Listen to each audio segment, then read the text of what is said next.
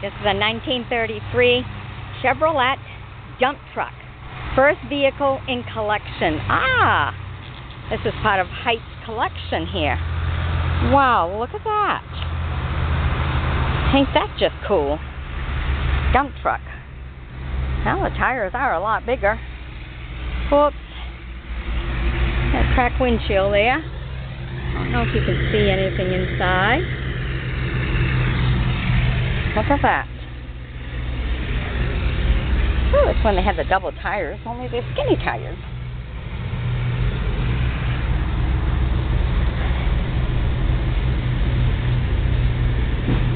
There you go. Inside there a little. Wow. One light in the back. That's all you have for a stoplight, huh? See the hitch?